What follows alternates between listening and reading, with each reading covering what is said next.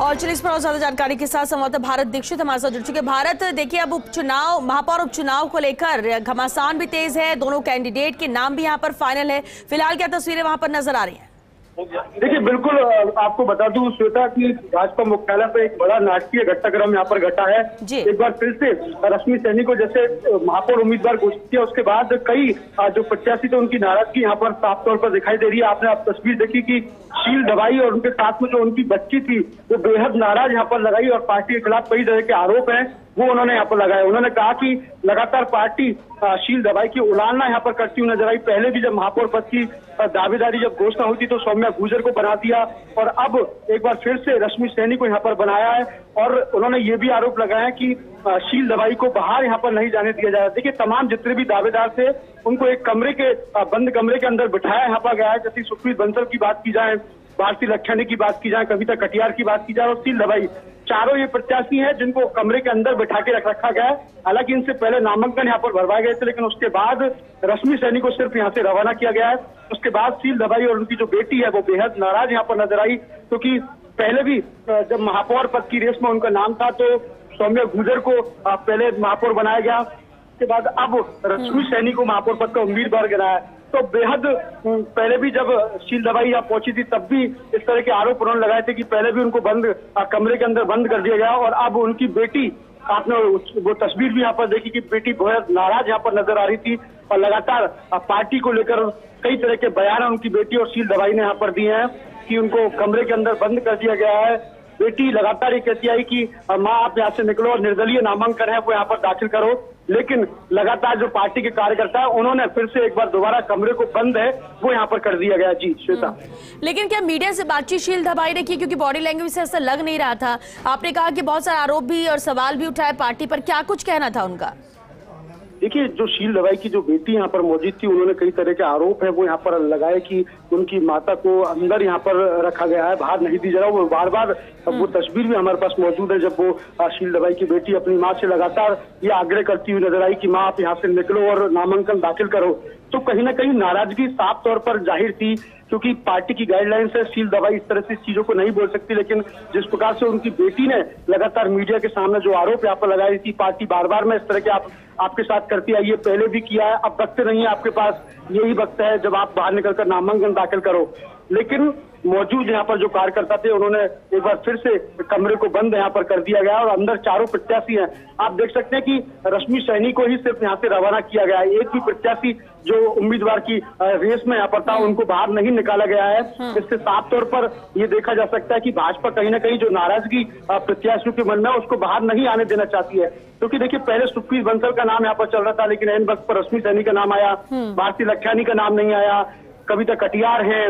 तो तमाम जितने भी नाम है, उनमें नाराज़गी यहाँ पर भरी हुई है। लेकिन जैसे ही वो बाहर निकलेंगे तो वो नाराज़गी सामने आएगी। पार्टी नहीं चाहती कि किसी प्रकार की नाराज़गी वो यहाँ पर बाहर आए और कांग्रेस उसका फ़ायदा उठाए।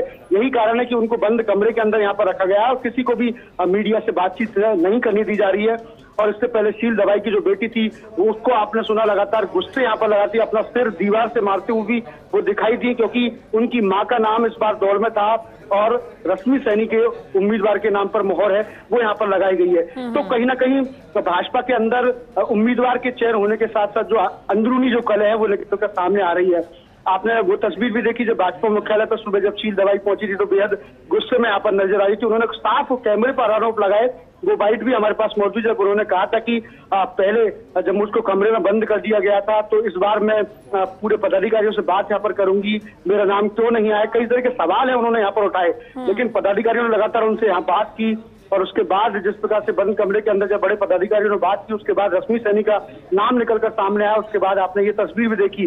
जब गुस्सा किस प्रकार से फूटा क्योंकि देखिए जब किसी का नाम नहीं आता उसके परिवार के लोगों को ठेस यहाँ पर पहुँचती यही तस्वीर अब आपको देखने को मिली कि किस तरह से शील दवाई की बेटी ने आरोप यहाँ पर लगाए भाजपा पर लगाए लेकिन लगातार हालाँकि शील दवाई बेटी को समझाती हुई यहाँ पर नज़र आई लेकिन बेटी बेहद गुस्से में यहाँ पर नज़र आई कि आपके पास अंतिम मौका है। अब अब नहीं तो कब क्योंकि लगातार दो बार पार्टी आपके साथ ऐसा कर चुकी है। आपने पार्टी के लिए बहुत कुछ किया लेकिन पार्टी ने आपके साथ सही नहीं किया। आप कमरे से बाहर निकलो और नामांकन दाखिल करो यहाँ तक बेटी कहती हुई नज़र आई। लेकिन फ़िलहाल पार्टी के जो पदाधिकारी है उन्होंने मामला थोड़ा शांत कराया और फिर से एक बार कमरे को बंद कर दिया है जी श्वेता बिल्कुल। लेकिन ये कब तक इन्हें बंद रखा जाएगा? कब तक ये बाहर नहीं निकल सकते हैं? किस तरह की मीटिंग हो रही है? सिर्फ़ इन्हें रोकने की ये कोशिश है क्या?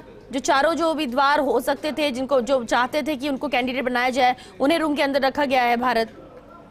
देखिए, फ़िलहाल नामांकन दाखिल करने का जो समय है वो तीन बजे तक का ऐसा था।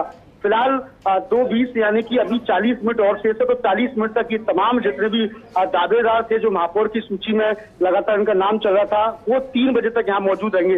जब नामांकन पत्र दाखिल करने का समय जब समाप्त हो जाएगा, उसके बाद ही उसके बाद ही इनको यहाँ से छोड़ा यहाँ पर जाएगा क्योंकि रश्मि सैनी फ़िलहाल भाजपा मुख्यालय से नामांकन पत्र दाखिल करने के लिए ग्रेटर नगर निगम लगभग पहुँच चुकी हैं। उनके साथ तमाम जो विधायक है अशोक लाहौटी की बात करें पूर्व विधायक राजपाल सिंह शेखावत की बात करें नरपत सिंह राजवी की बात करें तो तमाम तरीके के विधायक है वो उनके साथ नामांकन दाखिल कराने के लिए ग्रेटर नगर निगम पहुँचे हैं। और कुछ ही देर में जब वो नामांकन दाखिल कर देंगी तीन बजे का वक्त जब समाप्त हो जाएगा उसके बाद ये तमाम जितने भी उम्मीदवार थे जो दौड़ में चल रहे थे उनको यहाँ से छोड़ा जाएगा। जी।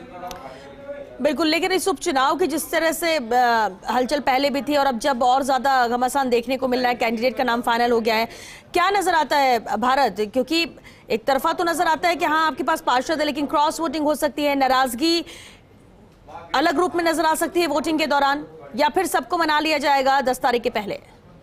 देखिए, बिल्कुल निश्चित रूप से इस बात में कोई दोहराय नहीं है कि इस बार का जो मेयर का चुनाव है वो ये नहीं कहा जा सकता कि एक तरफा भाजपा के कब्जे में है। क्योंकि हालाँकि बहुमत भाजपा के पास है, लेकिन जिस प्रकार की स्थितियाँ फ़िलहाल यहाँ पर देखने को मिल रही है, शील दवाई बेहद नाराज़ यहाँ पर चल रही है, अन्य दावेदार भी कमरे के बंद अंदर हैं तो कहीं ना कहीं कांग्रेस इसका फ़ायदा उठाना चाहती है। और आपने देखा कि पहले दिन जब कांग्रेस के विधायकों के साथ मंत्री प्रताप सिंह खचरियावास ने मीटिंग जब की थी तो उन्होंने साफ़ कहा था कि जब वो एक्शन में आते हैं तो पूरी एक्शन की धार यहाँ पर देखने को मिलती है। वो मैदान में जब कूदते हैं तो मैदान कभी नहीं छोड़ते, बिना लड़ाई मैदान नहीं छोड़ते। तो कहीं ना कहीं उनके जो बयान का जो मतलब है, वो यही है कि भाजपा में जब उम्मीदवार की घोषणा होगी, क्योंकि कांग्रेस के पास खोने के लिए कुछ नहीं है। बीजेपी, पहले भी आपने देखा विष्णु राटा के वक्त विष्णु राटा भाजपा के खेमे से, कांग्रेस के खेमे में से आए और उसके बाद कांग्रेस का बोर्ड बना।